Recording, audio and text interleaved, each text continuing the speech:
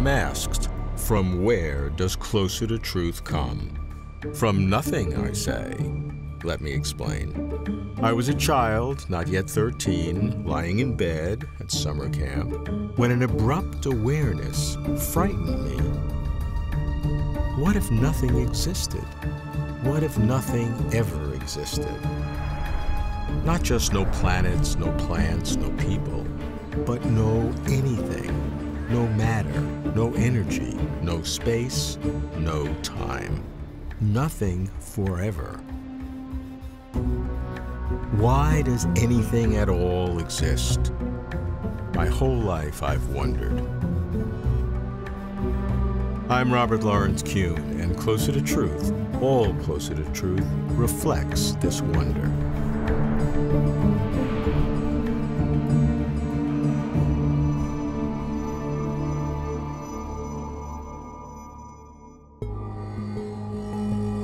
I confront my obsession by exploring nothing. Why is there something rather than nothing? What is nothing? Philosophers and scientists offer their views. I immerse myself in nothing.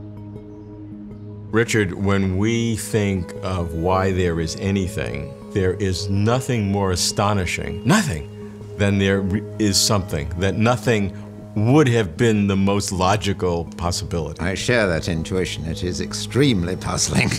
Where do we go from here? Well, all explanation consists in trying to find something simple and ultimate from which every, on which everything else depends. It's very strange that we think of nothing as the sort of default, um, because we're not familiar with it. We've never lived in a world in which there's nothing. You have discovered the presupposition that makes the question of why is there anything at all uh, so vexing because nothing does seem simpler than anything else.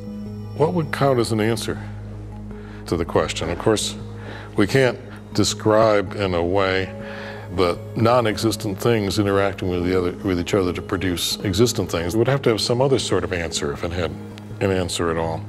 That is just the kind of question that uh, we will be stuck with when we have a final theory. No matter how mathematically consistent and logically consistent the theory is, there will always be the alternative that, well, perhaps an alter there's nothing at all. Not even empty space, but just absolutely nothing. Closer to truth, at its core, is my quest to understand this ultimate question. Why is there something rather than nothing? I sought the philosopher John Leslie, who for decades had been asking, why is there a universe, not a blank? I've devoted all my career to trying to look into this question. I think there's uh, two general sorts of question which science can never answer, and one is them is why there are any laws at all running the world, and the other is why there's any world rather than a blank. I think our belief that life is worth living could be influenced by the answers which we bring to these questions. John and I met in 2006, and our conversations are featured in many Closer to Truth episodes. Soon thereafter, we decided to co-edit a book on the ultimate question. It's called The Mystery of Existence. Why is there anything at all? A prime issue is whether the concept of nothing even makes sense. Many people now would say that the question, why isn't there nothing, is a meaningless question. One thing they might be saying is that there's some sort of contradiction in the idea of uh, there being nothing. If you're talking about the possible absence of everything, you have no truth maker to make it true that it's possible that everything be absent. But they have the slogan, this is very popular among philosophers these days, that truths always require truth makers, and truth makers must be, in the end, existing things so that if you want to talk about the truth of a law of physics, for example, you have to have actual particles going around and obeying the law of physics, otherwise, you're not talking about anything. Maybe there's a language confusion that's built into the question. So when I'm worrying about why not nothing, uh, I am worrying about a meaningless question. Surely there's no contradiction in a blank because in a blank there's nothing to contradict itself. Mm-hmm.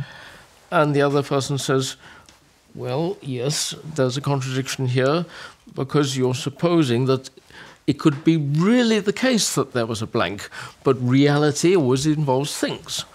Or the person would say, there's a contradiction here because God has to exist. Mm.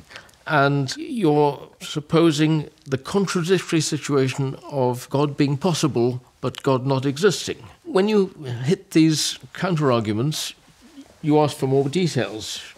You say, well, where is the contradiction in God not existing? And suppose that the answer comes to you, oh, well, we don't know enough about that. We're too humble to know this. It's too much of a mystery, but um, it's essential to our faith, and so on. And that ends the conversation tends to. Philosophy is a, a, very difficult and frustrating field, and I wish I'd been a novelist instead. nothing is not meaningless. There could have been nothing. I feel this deeply, but feelings betray. So why not nothing? I need a clear understanding of nothing. I asked philosopher Peter van Inwagen. Peter, if there were nothing, what would there be? To say that there's nothing is to say that there isn't anything. And that's all there is to it. Maybe you could allow the existence of abstract things, if you believe in them, like numbers uh, or mathematical objects like that. Maybe the question, why is there something rather than nothing, is the question, why are there concrete things, or, or maybe not a vast emptiness is a vast emptiness. For there to be nothing, if there were really nothing, um, there wouldn't be points in space that were a certain distance apart, even a vacuum. If there's really nothing, there isn't even a big vacuum. It's just there isn't anything. For anything that you might mention, there isn't that. If you ask, why is there anything? Well, you can't appeal to anything in addition to anything because there isn't anything in addition to anything. That's what makes it such a difficult question. That's what makes it a non ordinary question. So, is absolute nothing, literally nothing, even possible? I asked philosopher Timothy O'Connor. Suppose it is possible that there is nothing. And imagine that that possibility were so. Of course, we wouldn't inhabit that possibility, nothing would. So, had there been nothing, then it would have been possible, since nothingness is not necessary, which we know because there is something. So that, that, we, have an, we have an existence proof that shows us that nothingness is not necessary. So if there had been nothing, but still it were possible that there be something, there would be no ground for that alleged possibility of something. Even if there were absolute nothing, there would at least have to still be possibilities. You can't get around that no matter what. You can't get around that, right. So there's at least this possible truth, some proposition, some fact, some, some feature of reality. But that's not absolute nothingness. It's a very empty reality, just these pure possibilities of something. I find the idea of absolute nothingness a problematic idea. When dealing with nothing, can any explanation make sense? I ask Oxford philosopher of religion, Richard Swinburne. I think we can answer the question why is there a physical universe? And I think the answer is in terms of God having made it and sustained it. But the question why is there anything would include the question why is there a God? And um, I don't think we can answer that. Indeed, I don't think it is, has an answer because inevitably you can explain X by Y and Y by Z and Z by A and so on, but uh, this, this is going to come to a stop somewhere. The only questions we can answer is why there is a physical universe, and we ought to postulate the simplest explanation which leads us to expect the phenomena. And I think that the existence of God is that. The God answer is a popular one. Not that popularity means truth, of course. How might the existence of God deal with the possibility of nothingness? I ask Father Robert Spitzer, a Jesuit priest and philosopher. Nothing does seem simpler than anything else, except for perhaps absolute simplicity. And, and you But know, that's nothing. Uh, well, no. I would maintain absolute simplicity as power without an intrinsic or extrinsic restriction. Wow, that sounded very a lot of somethings. Yeah, well, actually, it's not a a lot of lot. somethings. I, I would just say uh, simply this I would say, why assume that nothing is the uh, condition uh, that demarcates, uh, as it were, the eternal existence of everything? All right. Let's suppose for just a moment that there was something like absolute simplicity. What gives us the problem is really finite realities because finite realities then imply something beyond that finitude. If you really have an unrestricted reality, which is not a lot of some things, it's a perfect unity, then perhaps perfect unitive reality, something which exists through itself, is the primordial, and that nothing, nothing is only the result of our reflecting on what's outside of the boundaries of finite reality. It would seem to me if I was if I were given a choice between nothing being the most simple and an unrestricted, unbounded, simplistic reality mm-hmm. being the, the the primordial existent, mm-hmm. I would pick nothing. Yeah, I, I mean, I can, I can see why you do it, because of course you'd think, well, there's no presuppositions and nothing. But what I would want to suggest is there are no presuppositions in perfect simplicity, a perfect unitive, unrestricted power either. If you really did have something that was truly absolutely simple, had no intrinsic or extrinsic boundaries whatsoever, which was a completely unconditioned reality, there wouldn't be a single presupposition that attached itself to that reality. Wouldn't I ask, why does that exist? Actually, you, you wouldn't have to because it would exist through itself. No, I mean that's No. Uh, that's an answer to the question, but I still have to ask the question. Yeah, you, you, If if it's nothing, I don't have to ask a question. yeah, but actually, to be honest with you, if you understood it in itself, Yes. you would understand that it was presuppositionless, and therefore that you wouldn't have to ask the question. The problem is a limitation to our understanding. Some physicists claim to have answered the question naturally, without God or anything supernatural. Quantum physics, they say, can explain why is there something rather than nothing. That the debate becomes impassioned highlights the probing authority of the question. I meet physicist and atheist Victor Stenger. Well, the uh, answer is that the universe is nothing. It's kind of a crystallized nothing. What we have now is, is a phase transition that went from nothing to something, like from water to ice. You go from a state of uh, higher symmetry to a state of, of lower symmetry, of, of one with more structure. And, and uh, in physics, in nature, uh, that tends to be the way things go. The, the more symmetric state is actually the less stable state. And so they tend to go through this transformation to something more structured. That happens to be the lower energy arrangement of the molecule. So let's just imagine what I call the void. Uh, it's a region of space where you've removed all the particles, all the energy, and so you have no particles. At present, you have no particular direction in space uh, selected out, no particular orientation in space. In other words, uh, it's a very symmetric situation, and nothing is more symmetric than nothing.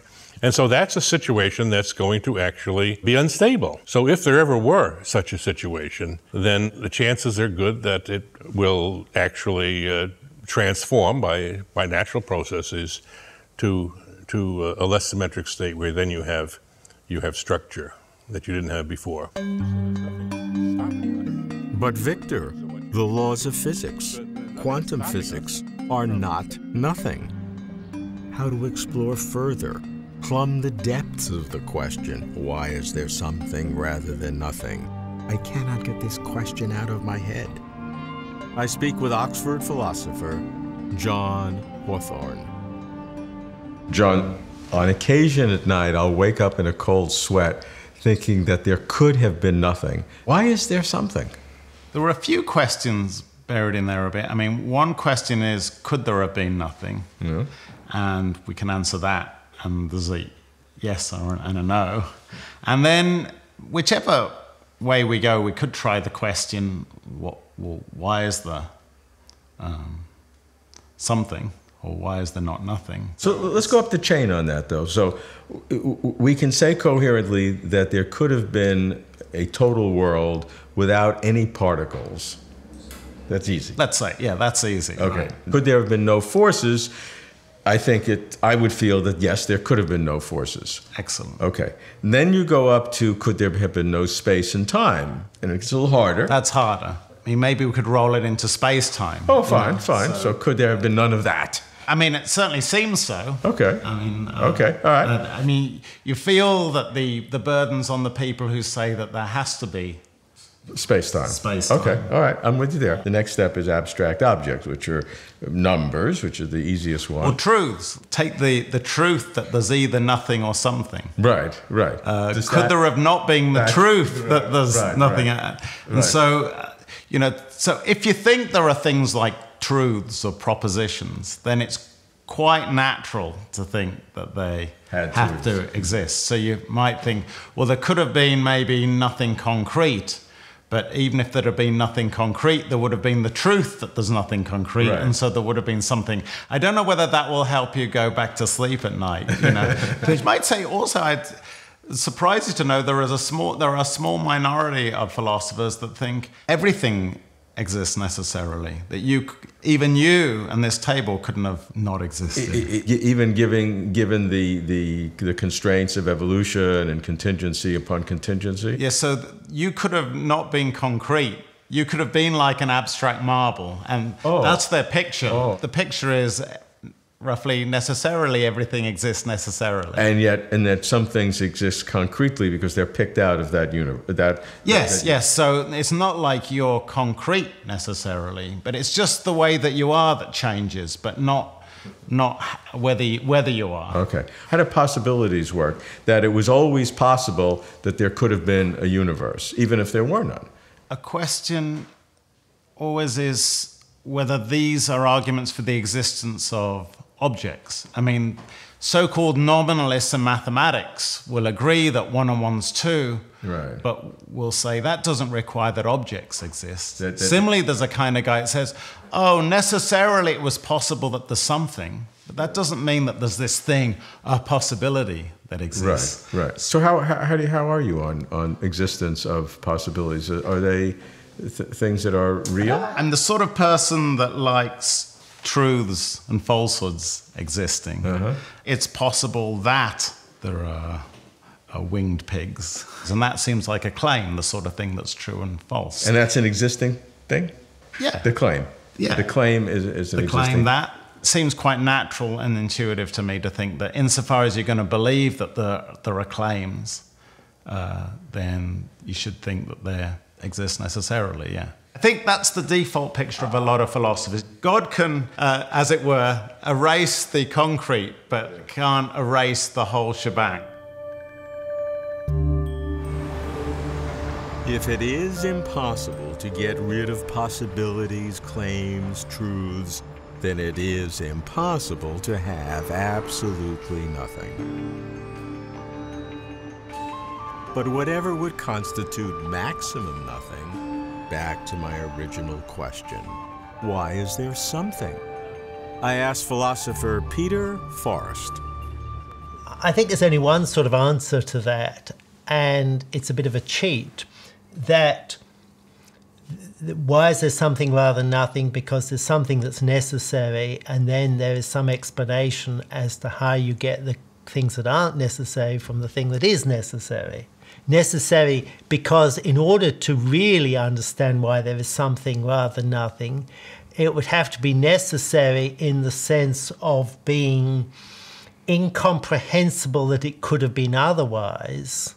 The two rival explanations Right. is going to be the naturalistic idea that we just have these necessary laws that bring everything into existence on the one hand, or that we have God who, as an agent, brings things into existence.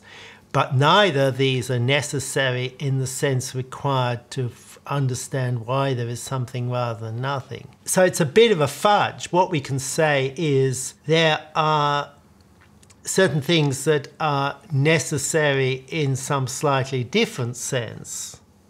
And both God or the laws of nature could be candidates for those. How so? Well, I'll try to explain in the case of God.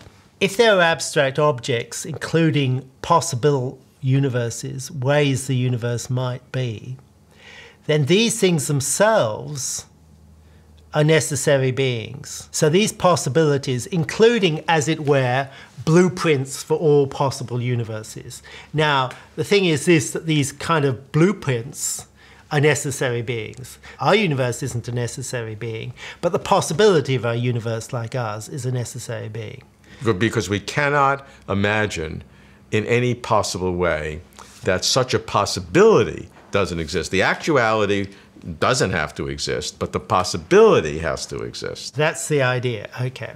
Now, the possibilities by themselves won't explain why there is anything actual. But what a theist will do is to say, well, you don't need much in addition to these possibilities. All you require is some act, a choice among possibilities. Now, that choice is contingent. So, the ultimate explanation for things is the range of pre existing necessary possibilities and this one simple act, the choice. Hmm. So, although we haven't explained why there's something rather than nothing, we've explained why there are things in terms of one ultimate mystery, this act, this choice. But the difference is that the, the physical laws, if you take them to be the ultimate things, are only going to be comparatively simple. They're not going to be absolutely simple. Whereas a sort of act, it is because it's good, that kind of choice, has in it a kind of simplicity which I would claim the laws couldn't have. And I think that's one of the advantages of ultimate explanation in terms of agency over ultimate explanation in terms of laws. So I don't think we can explain why there's something rather than nothing. But I think the best we can do is to explain it relative to taking as unexplained and mysterious a simple fact of a choice, given that there is this pre existing domain of possibilities. That's the theistic account. Why is there something rather than nothing? What is nothing? No thing. But there are different kinds or levels of nothing. Why levels of nothing? That's where the confusion lies. I have nine levels of nothing, from simple nothing to absolute nothing, each nothing having less and less. By nothing five, there is no matter, no energy, no space, no time. But there are the laws of physics. Nothing six, no laws of physics.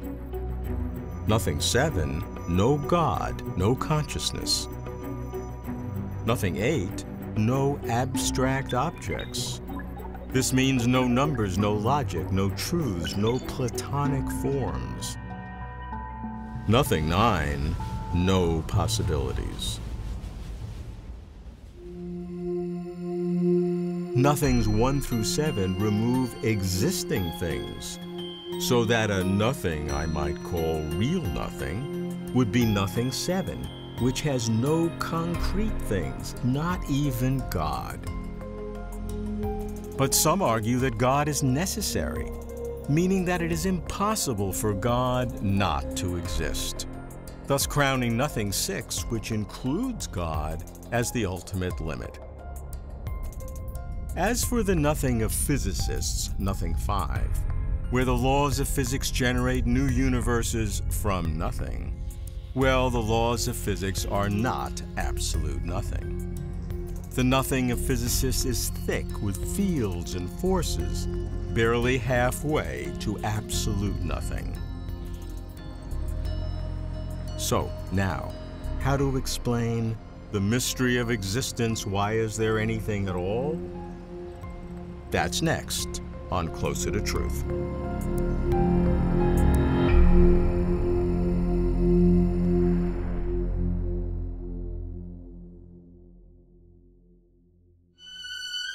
For complete interviews and for further information, please visit closertotruth.com.